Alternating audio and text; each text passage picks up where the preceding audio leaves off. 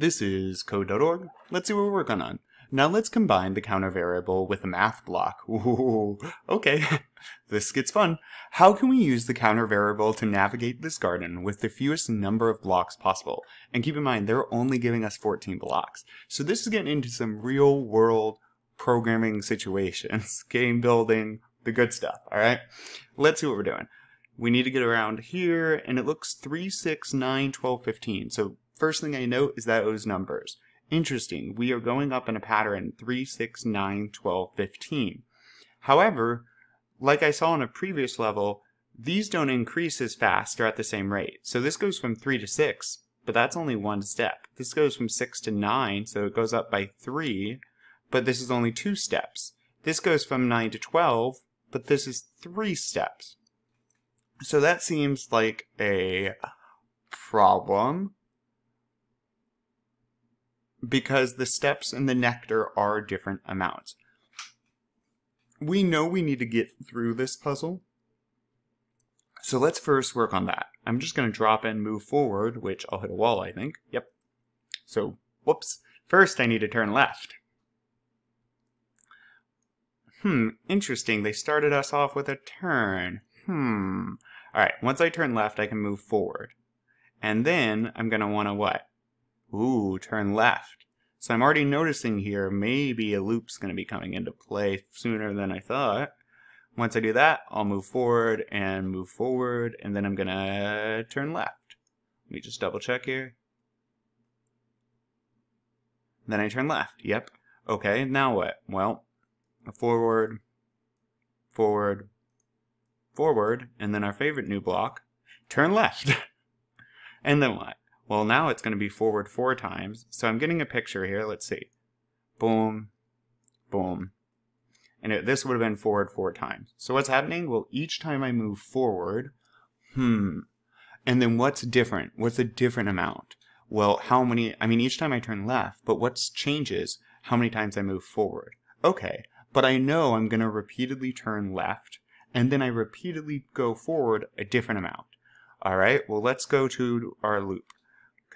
And I'm going to start with uh, 1 to 4, all right? And I'm only going to count up by 1. So, hey, what I have here is 4 counter.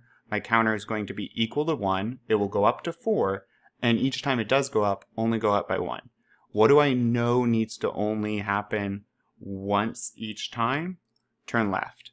What's going to be changing? How many times we move forward? So we're going to have to repeat our forward amount. Well, when we turn left the first time, how many times are we going to be going forward? One. Okay. When we turn left the second time, right? So this is two left, right? We went left here, here, and then again, the second time, how many times do we go forward? Two. When we go left the second time, how many times do we move forward? Two. Hmm.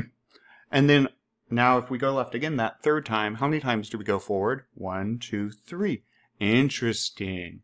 So however, whatever time we have gone left, one, two, three times, we're moving that many steps forward. Well, that sounds perfect for a repeat block. And just going through code like this, writing it out, even in uh, with a pen and uh, paper, which honestly I do for myself, helps you process it. All right. And what do I want here? Well, however many times the counter's at, right? Because when the counter's at one, we went left once, boom. Counter goes up by one, now it's at two. Well, look what happens. On the second time we go left, we go up by two, we go forward by two. Let's just test this out for starters. And I gotta get rid of this extra code. Let's see if we can get to the end.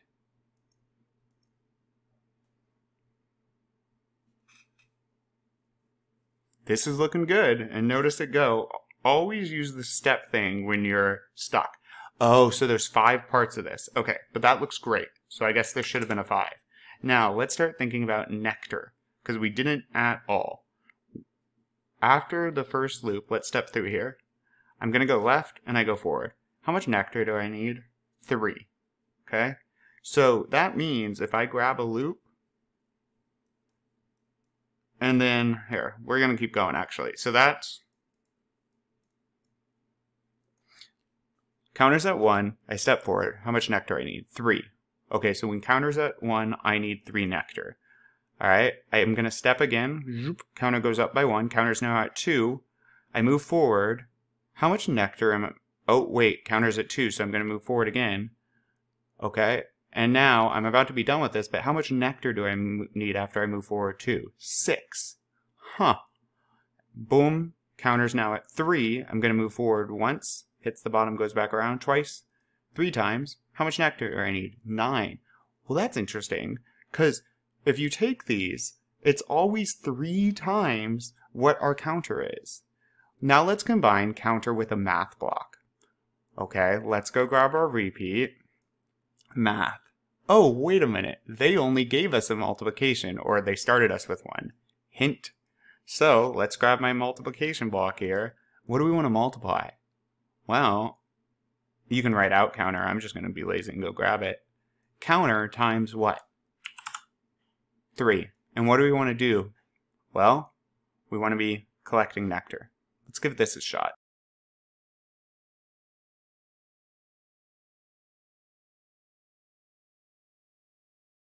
This stuff is getting so complicated. If you're understanding this, awesome. If you're stuck, that makes so much sense. It is confusing. So don't get discouraged. Go back through this. Go back through other parts of this lesson. This is complicated, difficult material. I've gotten some of these wrong the first try. So, yeah, you're doing awesome. Let's keep going.